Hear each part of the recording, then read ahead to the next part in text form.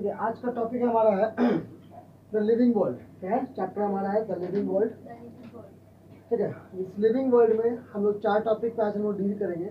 सबसे पहले तो जानेंगे कि लिविंग चीज़ क्या होता है। लिविंग थिंग्स किसे कहते हैं? What is living right living के क्या क्या कैरेक्टरिस्टिक्स हैं? किसको हम लोग लिविंग कहेंगे? है ना? जिसको देख करके हम बता दें कि लिविंग किसे कहेंगे।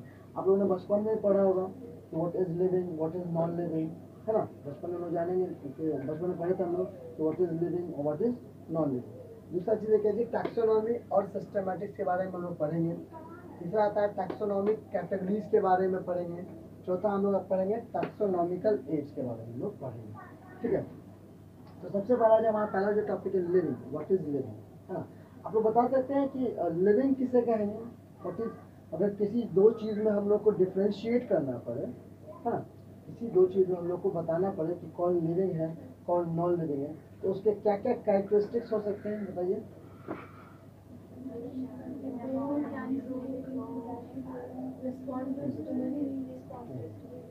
ठीक है। यानी कि लिविंग हम उसे किसे कहेंगे कि जो जिसमें क्या हो रहा हो ग्रोथ हो रहा हो। क्या हो रहा हो?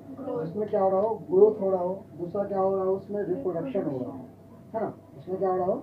रिप्रोडक्शन हो रहा हो। तीसरा क्या है कि मेटाबॉलिज्म मेटाबॉलिज्म शो करता हो कि उसका अर्थ क्या है कि रिस्पॉन्ड टू स्टिमुली यानी कि कॉन्शियसनेस क्या? कॉन्शियसनेस चलिए तो सबसे पहला हम लोग आता है क्या चीज़? ग्रोथ क्या आता है? ग्रोथ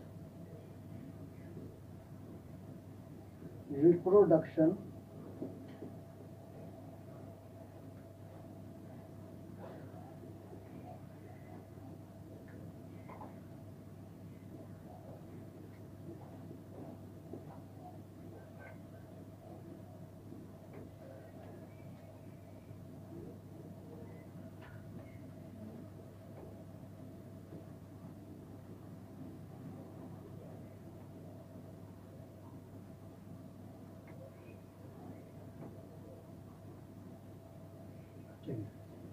पहला आता है ग्रोथ दूसरा आता है रिप्रोडक्शन तीसरा आता है मेटाबॉलिज्म और चौथा आता है कॉन्शियसनेस ग्रोथ से आप लोग क्या समझते हैं? ग्रोथ कहने का मतलब? Increasing mass for example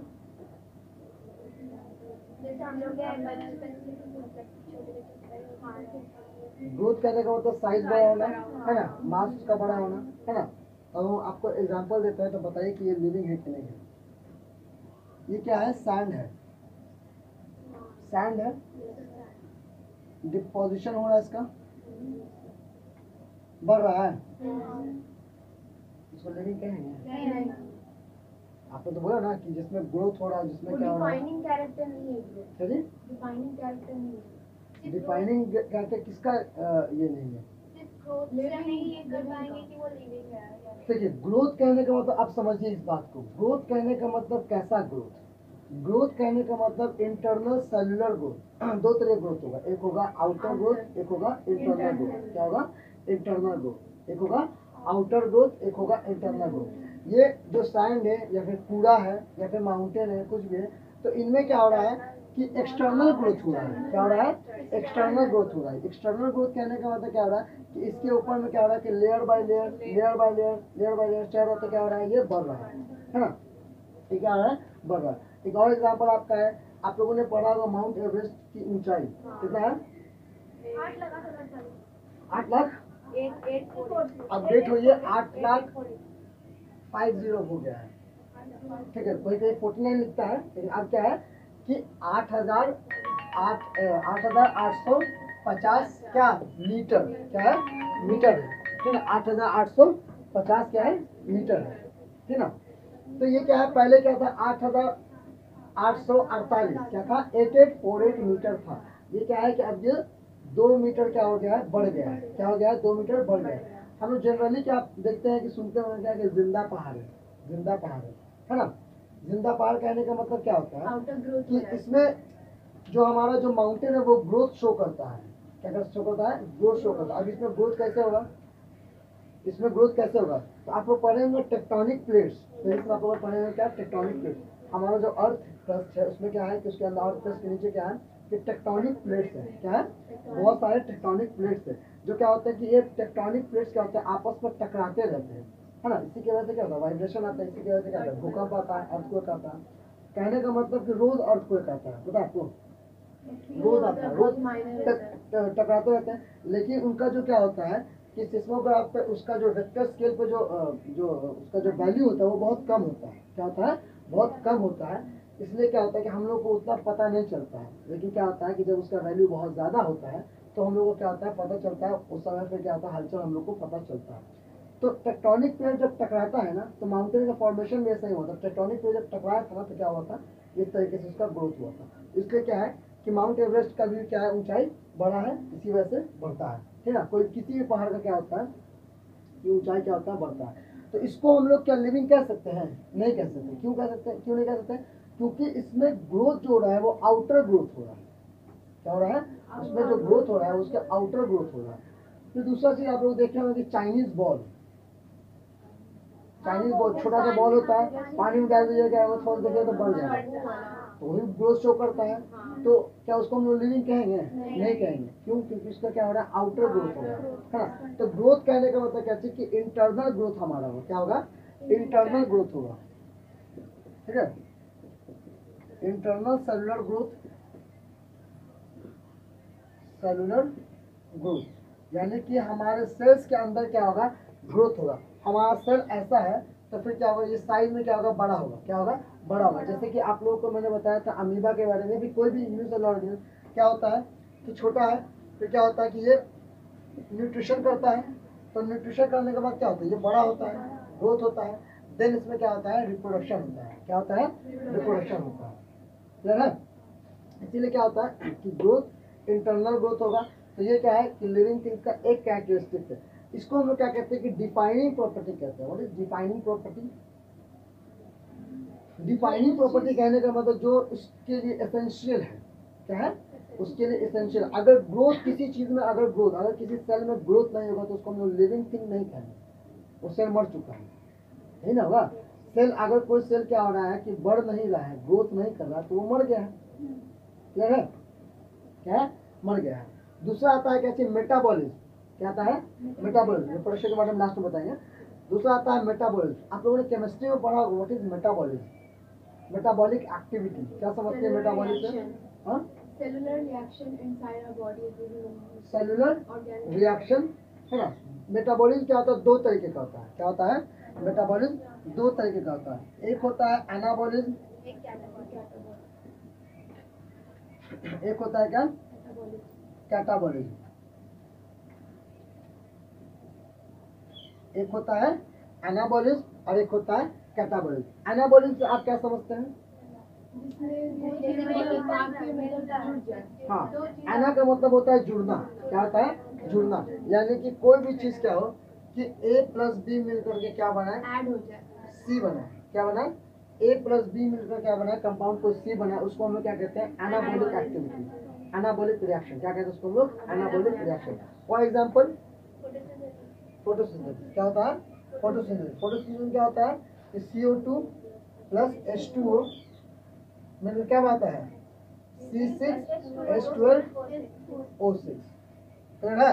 इसको हम लोग कहेंगे क्या? एनाबॉलिक एक्टिविटी या एनाबॉलिक रिएक्शन इसको हम लोग क्या कहते हैं? एनाबॉलिक रिएक्शन दूसरा होता है कैटाबॉलिक रिएक्शन कैटाबॉलिक में क्या होता है कि एक सब्सटेंस से क्या होता है कि दो सब्सटेंस में क्या होता है? स्प्लिट कर जाता है। ब्रेक हो जाता है। यानी कि सी से किस चीज़ का फॉर्मेशन होगा? ए प्लस बी का फॉर्मेशन होगा उसको हम लोग क्या कहेंगे? कैटाबॉलिज्म क्या कहेंगे उसको हम लोग? कैटाबॉलिज्म इसका कोई एग्जांपल Respiration. रेस्पिरेशन क्या होता है? रेस्पिरेशन रेस्पिरेशन में क्या होता है? यही ग्लूकोज क्या है. यही glucose C six H twelve O six इसमें ब्रेक डाउन होगा? CO2 plus C O two plus H two O इसमें क्या होगा ये? ब्रेक डाउन होगा. क्या होगा? ब्रेक डाउन होगा. तो इससे हम लोग को एक चीज़ और पता चल रहा है कि फोटोसिंथेसिस जस्ट रिवर्स प्रोसेस है किसका? जस्ट रिवर्स प्रोसेस फोटोसिंथेसिस किसका जस्ट रिवर्स प्रोसेस है? रेस्पिरेशन का। किसका है? रेस्पिरेशन का। इसको हम लोग कहते हैं मेटाबॉलिज्म क्या कहते हैं? मेटाबॉलिज्म तो हमारे बॉडी में क्या है? बहुत सारे मेटाबॉलिज्म एक्टिविटीज़ होते रहते हैं।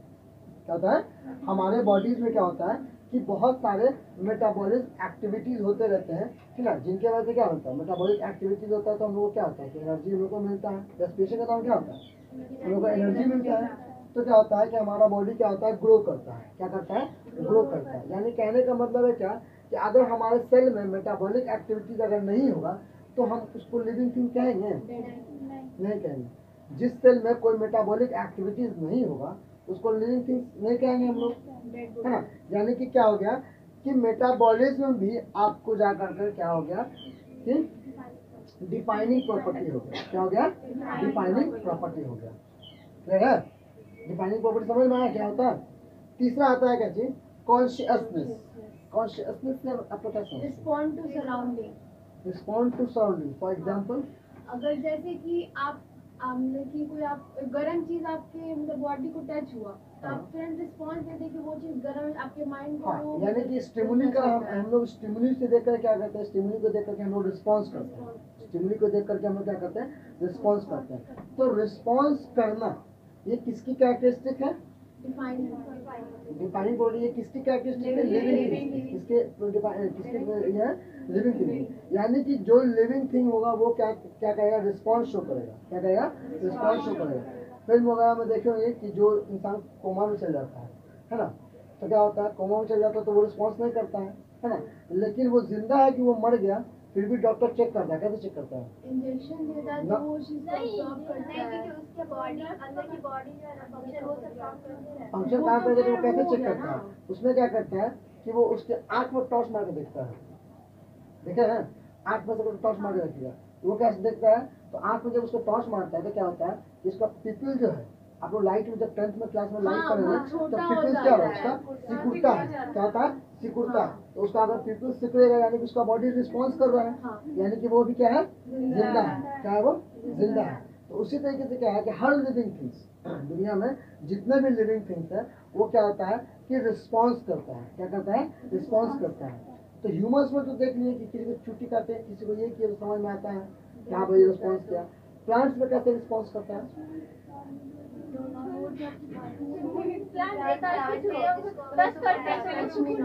बट वो तो हो गया प्लांट हर हर प्लांट प्रकाश संश्लेषण नहीं करता है। वो। हाँ।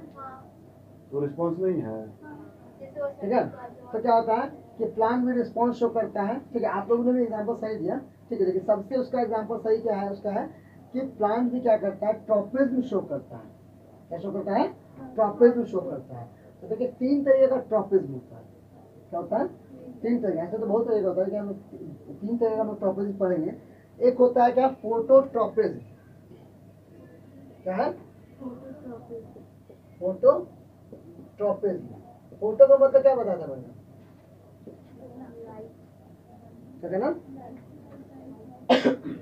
ठीक है? एक होता है फोटोट्रॉपिज्म एक होता है जियोट्रॉपिज्म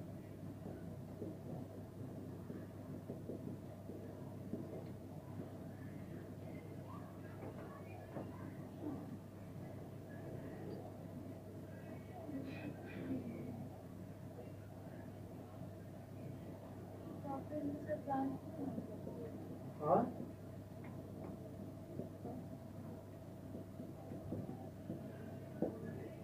हाँ एक होता है फोटोट्रॉपिज्म एक होता है जियोट्रॉपिज्म एक होता है थिग्मोट्रॉपिज्म एक होता है हाइड्रोट्रॉपिज्म वो भी होता है। ठीक है? तो बात करेंगे ना फोटोट्रॉपिज्म ट्रॉपिज्म का मतलब मूवमेंट फ़ोटो का मतलब लाइट लाइट की तरफ़ जो मूवमेंट होता है, उसको हम लोग कहते हैं फोटोट्रॉपिज्म कभी सोचा है कि प्लांट जो है है ना प्लांट्स के दो पार्ट होते हैं। कितने पार्ट्स होते हैं? दो पार्ट्स होते हैं। एक को कहते हैं क्या? एक को कहते हैं शूट एक को कहते हैं क्या? एक को कहते हैं शूट एक को कहते हैं रूट क्या कहते हैं? रूट ज़मीन के अंदर जो धंसा हुआ है उसको कहते हैं रूट ज़मीन के ऊपर जो है उसको हम लोग कहते हैं शूट क्लियर है? अब देखो, कभी सोचा है कि ये जो है सिर्फ़ ऊपर ही क्यों बढ़ता है? और ये कभी, ये जो है ये नीचे ही क्यों बढ़ता है? तो सोचा है? प्लांट जो है वो क्या है? ऊपर ही, उसका जो शूट है वो ऊपर ही बढ़ता है। और ये क्या है इसका जो जड़ जो है वो नीचे ही बढ़ता है। ठीक है? क्योंकि ये एक तरीके का ट्रॉपिज्म शो करता है। क्या शो करता है? ट्रॉपिज्म। किसी भी प्लांट का जो शूट पार्ट होता है वो क्या करता है कि फ़ोटो ट्रॉपिज्म शो करता है। क्या शो करता है? फ़ोटो ट्रॉपिज्म शो करता है। यानी कि ये अपना मूवमेंट जो है लाइट की तरफ़ लाइट की डायरेक्शन में क्या करेगा? अपना ये मूवमेंट जो है वो शो करता है। जिस तर, जिस जिस डायरेक्शन से क्या आएगा? लाइट आएगा उसी डायरेक्शन में क्या होगा? इसका मूवमेंट होगा। ठीक है? इसका मूवमेंट होगा। पहले ज़माने में जब ये नहीं था कंपास नहीं था या फिर आज भी कहीं कोई जंगल में अगर, जैसे कि आपने एक शो देखा होगा बियर गिल्स का मैन वर्सेस वाइल्ड देखा है ना? वो उसमें बताता था कि डायरेक्शन देखना वो बताता था। तो क्या होता था कि वो प्लांट के मूवमेंट में क्या देखता था कि जिस तरीके से जिस मूवमेंट था ना तो उस तरीके से क्या होता था कि पूरब के ओर से क्या निकलता है? सूरज निकलता है। तो दिखा दिखाता था वो कि, कि पत्ती की जो डालियाँ या फिर डालियाँ वगैरह जो होती थी वो क्या होती थी कि पूरब की तरफ़ रहती थी। तो वो क्या दिखाता था कि वो समझ आता था कि अच्छा पूरब इधर है है ना? यानी कि क्या होता है कि प्लांट जो है हमारा सन के डायरेक्शन में क्या करता है अपना रात में। सन रात में तारा से? नॉर्थ पोल जो है ना है ना? तारा को देखकर क्या होता है डायरेक्शन दिखाया जाता है। कभी कभी हाँ? को। कभी कभी स्टार्स तो बारिश की तो उस समय क्या होता था कि जैसे कि प्लांट में कुछ तो दिखता है ना प्लांट में मतलब उसका डायरेक्शन उस उस मूवमेंट जो उसका डायरेक्शन जो है प्लांट का लीव्स का वगैरह का तो वो उस तरीके से दिखाता था कि हाँ इधर ये है। ठीक है? खैर, अब आता है क्या चीज़? कि ये ये क्या शो करता है? ये आपको सनलाइट की तरफ़ क्या करेगा? सनलाइट की तरफ़ ही आपको ये मूवमेंट शो करता है। एक एक्टिविटीज़ था टेंथ में, ठीक है, जिसमें दिखाया था क्या चीज़? एक खिड़की है ठीक है खिड़की इधर है और प्लांट को जस्ट इधर रखा गया क्या है? प्लांट को जस्ट इधर रखा गया ठीक है? हाँ सर। अब आता है क्या? कि क्या होता है कि ये लाइट की डायरेक्शन में क्या करेगा? शो करेगा। तो उस एक्टिविटी में दिखाया गया था क्या? कि खिड़की इधर है। ठीक है? और गमला इधर रखा गया था। ठीक है? और ये प्लांट इस तरीके से ऐसे करके शो करता था। तो जिस जिधर लाइट आएगा, उधर उधर उसी डायरेक्शन में क्या होगा? उस पूरा रूम अंधेरा था ठीक है? तो क्या होता है कि जिस तरीके से लाइट जिधर से आएगी ना तो उस, उसी डायरेक्शन में क्या होगा? उस प्लांट का मूवमेंट होता है। तो ये शो करता है आपका फोटोट्रॉपिक क्या शो करता है? फोटोट्रॉपिक सूरजमुखी का फूल देखा है? दिखाता है ना कि सूरज की जिस जिस जिस साइड सूरज रहता है उस साइड उसका मूवमेंट रहता है। तो ये क्या शो करता है? फोटोट्रॉपिक यानी कि ये दिखा रहा है क्या कि प्लांट भी जीवित है प्लांट भी क्या है? लिविंग थिंग्स है। और लिविंग थिंग क्या करता है? कॉन्शियसनेस दिखाता है, यानी कि रिस्पॉन्स करता है। क्या करता है? रिस्पॉन्स करता है। ठीक है? दूसरा एग्ज़ाम्पल क्या है? आपको जियोट्रॉपिक क्या करता है? जियोट्रॉपिक यानी कि ग्रेविटी की तरफ़। जियो का मतलब क्या होता है? ग्रेविटी और ट्रॉपिज्म का मतलब? ट्रॉपिज्म का मतलब? मूवमेंट ठीक ना? तो जियोट्रॉपिक यानी कि क्या होता है कि जो हमारा रूट होता है जो हमारा रूट होता है, वो क्या होता है कि ग्रेविटी की तरफ़ क्या करता है, जाता है। टुवर्ड्स द ग्रेविटी जाता है हमारा रूट ठीक है? तो उसको हम लोग क्या कहते हैं? जियोट्रॉपिक फिर क्या होता है कि पानी की तरफ़ भी जाता है, जिसको हम लोग कहते हैं क्या? हाइड्रोट्रॉपिक क्या कहते हैं? हाइड्रोट्रॉपिक वाटर ये जो सब, ये होता है एक्वेटिक प्लांट होते हैं, वो क्या शो करते हैं? हाइड्रोट्रॉपिक क्या शो करते हैं? हाइड्रोट्रॉपिक फिर नेक्स्ट है आपका वही छुई मुई थिग्मोट्रोपिज्म केमिकल्स है ना? वो क्या होता है कि छू मुई के पेड़ पर आप छूने जाएँगे तो क्या करता है? अपना सारा वो, क्या होता है कि वो अपना केमिकल सेक्रेट करता है जिसके वजह से क्या होता है कि उसके अंदर का जितना पानी होता है उसके लीज में क्या होता है? पानी होता है वो सारा पानी क्या होता है इवापोरेट हो जाता है। क्या होता है? इवापोरेट होता है। यानी कि कहने का मतलब क्या है कि वो भी आपको ये सारे एग्जाम्पल्स केस करते हैं कि प्लांट्स क्या करते हैं? शो करते हैं रिस्पॉन्स करते हैं। क्या करते हैं? रिस्पॉन्स करते हैं। और रिस्पॉन्स कौन करता है? जो लिविंग थिंग्स होता है वही क्या करता है? रिस्पॉन्स करता है। क्लियर यानी कि कॉन्शियसनेस भी क्या होता है? एक डिफाइनिंग प्रॉपर्टी है। कॉन्शियसनेस क्या है? एक डिफाइनिंग होता है कोई मरा हुआ इंसान कॉन्शियसनेस शो करेगा पता नहीं कि बिल्कुल अनकॉन्शियस हो गया। यानी कि अनकॉन्शियस हो गया मतलब कि अनकॉन्शियस जब हो जाता है इंसान तो क्या मर जाता है। है ना तो ये क्या हो गया कि कॉन्शियसनेस कहने का मतलब कैसे कि वो डिफाइनिंग प्रॉपर्टी है। अब नेक्स्ट आता है आपका रिप्रोडक्शन कहता है? तो होगा एकदम होगा। ग्रोथ भी होगा ना? जो जिसमें क्या होगा कि जिसमें, जिस लिविंग ऑर्गेनिज्म में ग्रोथ नहीं हो रहा है, उसको हम कहेंगे लिविंग ऑर्गेनिज्म कहेंगे उसको लिविंग ऑर्गेनिज्म कोई हम सेल किसी सेल का कल्चर कर रहे हैं, उसको क्या कहेंगे? किसी टेस्ट में रख दिए। ठीक है? अब वो सेल ज़िंदा होगा तभी तो ग्रोथ करेगा। सेल मरा होगा तो ग्रोथ करेगा। नहीं करेगा। तो क्या है कि ग्रोथ जो क्या होता है, वो डिफाइनिंग प्रॉपर्टी है। क्या है? डिफाइनिंग प्रॉपर्टी है लाइफ का। फिर दूसरा क्या है? मेटाबॉलिज्म में अगर उसमें क्या है? एनाबॉलिज्म या कैटाबॉलिज्म नहीं हो रहा है। मेटाबॉलिक एक्टिविटी अगर हमारा सेल परफॉर्म नहीं कर रहा है तो उसको हम लोग लिविंग कहेंगे नहीं कहेंगे। उसको क्या वो वो भी क्या है? डिफाइनिंग प्रॉपर्टी है। तीसरा क्या है? कॉन्शियसनेस अगर रिस्पॉन्स नहीं करेगा तो क्या है? डिफाइनिंग प्रॉपर्टी वो भी कॉन्शियसनेस भी क्या है? डिफाइनिंग प्रॉपर्टी है। कॉन्शियसनेस शो नहीं करे तो वो लिविंग थिंग नहीं है। क्लियर है? ह्यूमन क्या है? ह्यूमन एक, एक ऐसा जीव है जो क्या है? सेल्फ कॉन्शियसनेस कहते हैं। सेल्फ कॉन्शियसनेस कहने का मतलब? खुद के द्वारा उसका हिंदी वर्ड नहीं पता। मतलब बोलती ना कि मैं इतनी सुंदर हूँ मैं क्या करूँ? है। ना तो कहने का मतलब है क्या? कि वो ह्यूमन क्या है सेल्फ कॉन्शियस खुद के लिए क्या है? ना पैम्पर खुद को करना। खुद को क्या कहता है? आदमी सोचता है ना कि अरे यार ये हो गया खुद मतलब खुद रिस्पॉन्स करता है। खुद को देख करके इंसान क्या करता है? उस रिस्पॉन्स करता है। इसलिए क्या है कि पूरे जीव में 1.7 बिलियन जो ऑर्गेनिज्म है ठीक है उनमें क्या है कि ह्यूमन से एक ऐसे जो क्या है सेल्फ कॉन्शियस है। क्या है सेल्फ कॉन्शियस है चलिए तो ये क्या है? सारा ये तीनों आपको क्या है कि डिफाइनिंग प्रॉपर्टी है। ये ये ये आपको क्या है? डिफाइनिंग प्रॉपर्टी ठीक है? ये ग्रोथ मेटाबॉलिज्म और कॉन्शियसनेस क्या है? आपको डिफाइनिंग प्रॉपर्टी है। अब आता है रिप्रोडक्शन क्या आता है? रिप्रोडक्शन रिप्रोडक्शन क्या है? कि रिप्रोडक्शन में क्या होता है कि एक सेल से दूसरे दूसरा सेल बनता है। हाँ रिप्रोडक्शन में आप लोग टेंथ में पढ़े होंगे कि रिप्रोडक्शन का मतलब क्या होता है? रिप्रोडक्शन यानी कि वो ऑर्गेनिज क्या करता है? अपने ही तरीके के ऑर्गेनिज को जन्म देता है। अपने ही तरीके के ऑर्गेनिज को जन्म देता है। उस प्रोसेस को हम लोग कहते हैं रिप्रोडक्शन क्या कहते हैं? रिप्रोडक्शन रिप्रोडक्शन कितने तरीके होता है? दो तरीके का होता है। एक होता है असेक्सुअल एक होता है सेक्सुअल ठीक ना? ऑर्गेनिज क्या है? दो तरीके का है। एक है यूनिसेलुलर एक है मल्टीसेलुलर असेक्सुअल रिप्रोडक्शन जनरली क्या होता है कि यूनिसेलुलर ऑर्गेनिज में देखा जाता है। है ना देखा जाता है। किसी को पता है कि रिप्रोडक्शन यानी असेक्सुअल रिप्रोडक्शन में कैसा क्या होता है? क्या होता है? असेक्सुअल रिप्रोडक्शन कितने टाइप्स के होते हैं?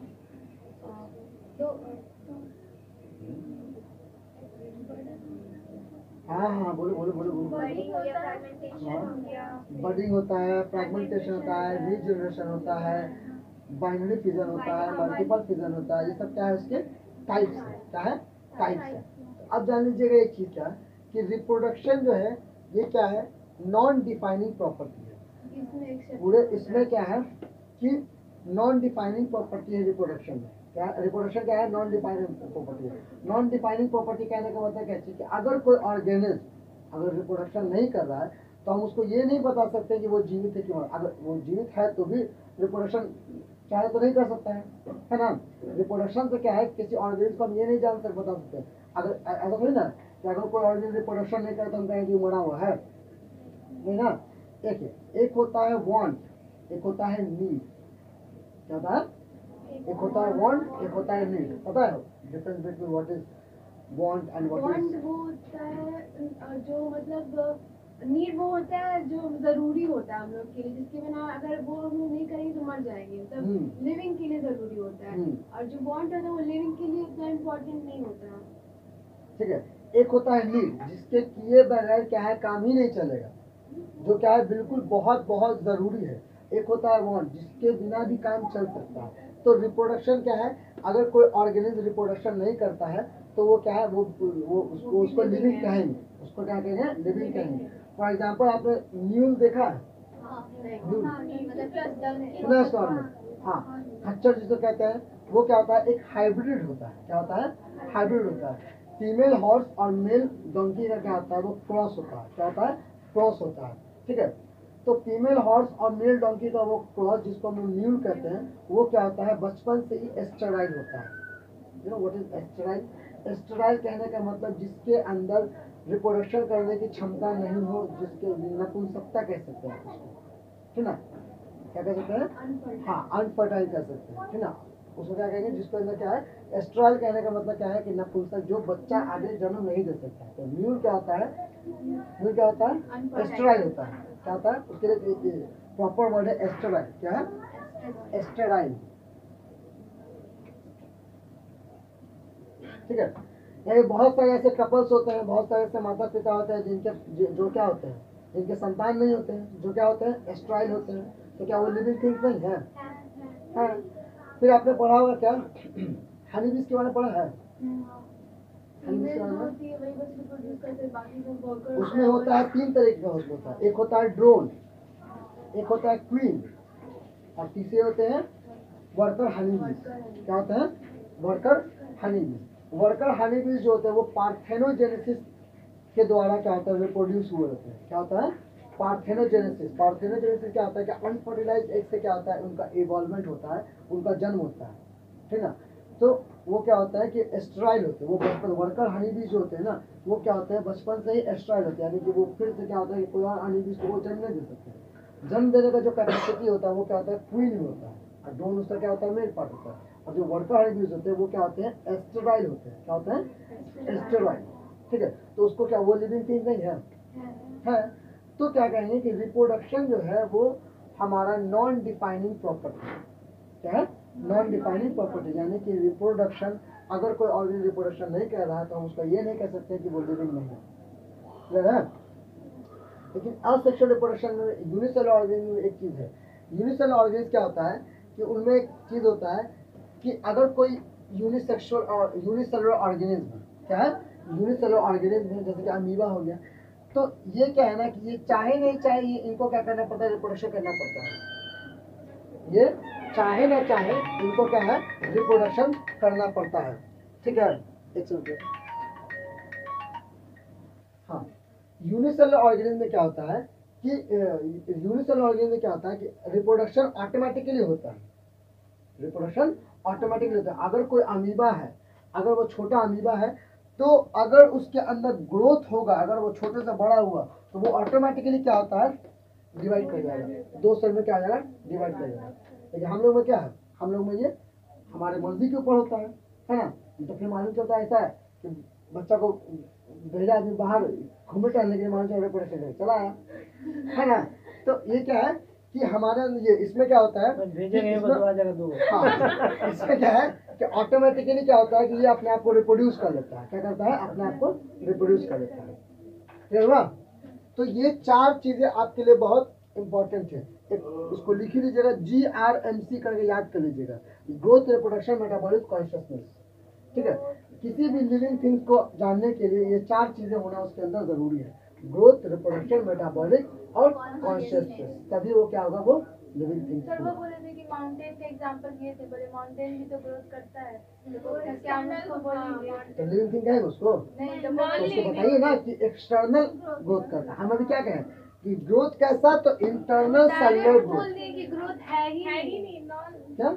वो बोल दिए डायरेक्ट कि है ही नहीं। तो बोले नहीं कि growth according to you growth क्या है? तो फिर ऐसा हो जाएगा कि ये बुक है। ठीक है? अब यहाँ बुक है। अब क्या है बुक का स्लैब रखते गए रखते गए रखते गए तो ग्रोथ नहीं हो रहा इसमें। एकदम हो रहा है। तो कहीं कूड़ा फेंक रहे हैं। कहीं कूड़ा फेंक रहे हैं। है हाँ? है तो उनसे पूछिए कि सर अगर कोई सेल ग्रोथ नहीं कर रहा है तो उसको हम वो क्या ज़िंदा है वो? नहीं वो ऐसा बोले कि मतलब मतलब ऐसे इंटरनल ही ग्रोथ होना चाहिए तभी है ना होगा। क्योंकि इसमें अच्छा, तो एक्सटर्नल ही होता है। सर इंटरनल के बारे में बताए नहीं